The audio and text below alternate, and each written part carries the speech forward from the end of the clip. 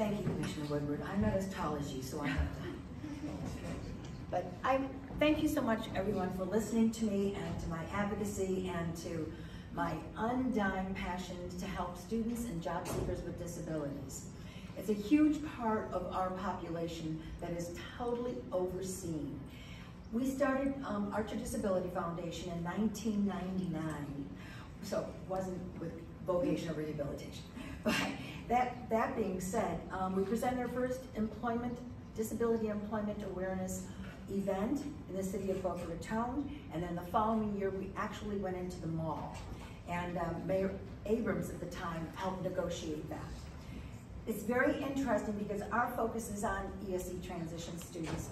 I was a teen mom and that got this entire notion that people were not paying attention to this one population in the school district and I was correct. So with that being said, Palm Beach County does have an amazing focus on ESE transition students. And that is special educators, job coaches, and they identify transition uh, work that could be done by some of these students. And the reason they call them transition students is because they're transitioning out of the high school, the school district, and into the community. And one of the biggest problems these children have and their parents is that they won't find employment and they're not going to integrate into the community. So they'll sit home and vegetate, possibly um, do some self-medicating if you know where I'm going. And this is not what we want. We want them to be fulfilled in our community we want them to have opportunities. In 1990, the Florida legislature established Able Trust in Tallahassee to serve as a direct support organization for Florida Division of Vocational Rehabilitation.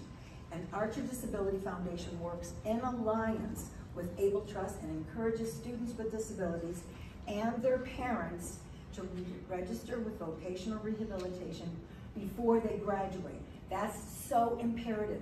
It has to be done before they transition, not after the fact. I did the same thing with my son. I helped him get through vocational rehabilitation registration and work with a number of different um, people that actually take them. They call them customers, but I call them my son. And they actually get them to get into the workforce through the direction of a nonprofit organization. I actually went to Tallahassee and discussed with an ombudsman how I could be that particular nonprofit organization, and it worked for me.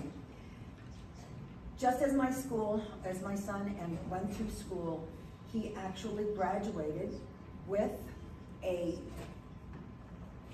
degree from school, uh, Palm Beach School District and then went on to Palm Beach State College and then to Florida Atlantic University. And here we are now with the district and we have an issue that is huge. As Commissioner Woodward has mentioned, there was a study in Tallahassee done in 2022 called Solving Florida's Labor Shortage, the Hidden Solution. It reveals the current labor force participation rate in Florida for persons with disabilities ages 16 to 64 is 40% gap between persons with disabilities and without disabilities. And at this moment, Florida has nearly 500,000 unfilled jobs and forecasts indicate continuing growth of new jobs between now and 2030.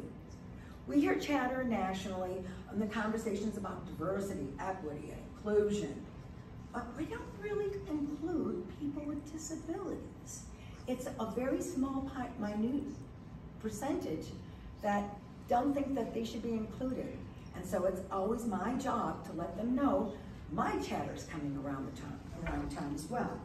So business, government, and community leaders all need to recognize the need for quality workers and a diverse workforce. Businesses and employers are beginning to recognize the value of hiring non-traditional sources of talent. Floridians with disabilities are a part of the workforce shortage solution, and they do have amazing work ethics.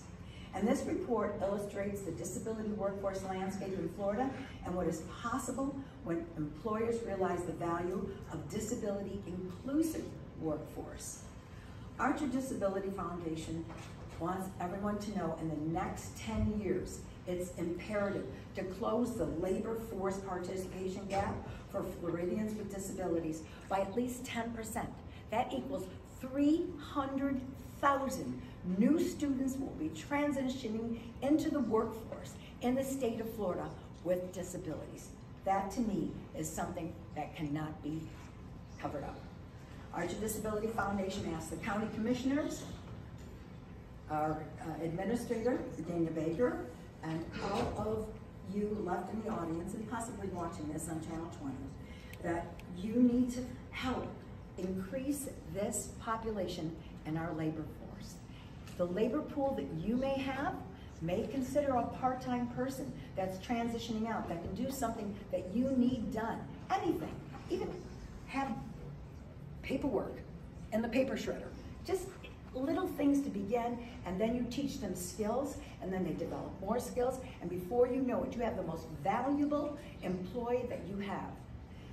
Now, I'd like to introduce a young man who graduated years ago as an ESE student from the school district, who earned a GED because in those days, they had special degrees.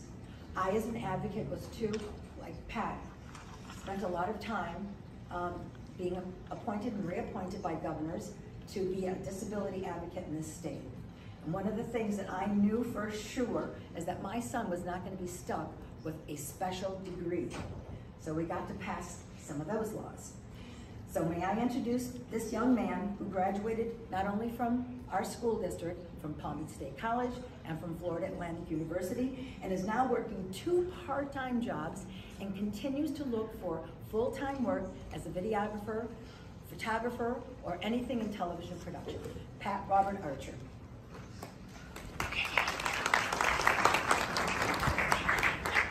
Yes, go ahead, go ahead. Hi, Ryan. Ryan, thank you for this time. I'm an example of a self-advocate appointed by two Florida governors, Charlie Crist in 2010 and reappointed by Florida Governor uh, Rick Scott in 2017.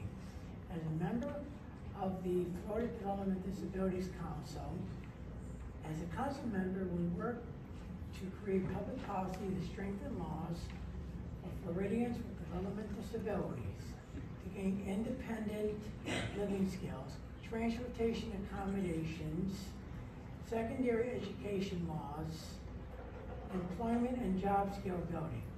People with disabilities can ultimately be tax-paying citizens. I am a living proof using disability-related resources in all levels of education in Palm Beach County and job skills development from business and government agencies.